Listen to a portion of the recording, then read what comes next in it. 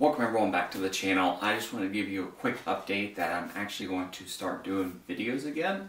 I haven't done any videos in probably three or four years now. Uh, I went back to school, got a new job, kind of took a break from the whole YouTube thing, but I'm going to start doing some videos here or there. Uh, mainly my videos in the past have all been on tech related uh, topics, but moving forward they're going to be more scattered throughout, more about just things that I'm interested in. It will be more tech focused, but there will also be a lot of other things that I will be covering going over. Uh, I'm going to be doing some long-term reviews here coming up, uh, so I'm really excited about that.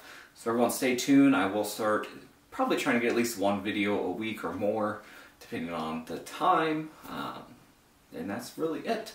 Uh, so stay tuned and uh, look forward to see you guys again.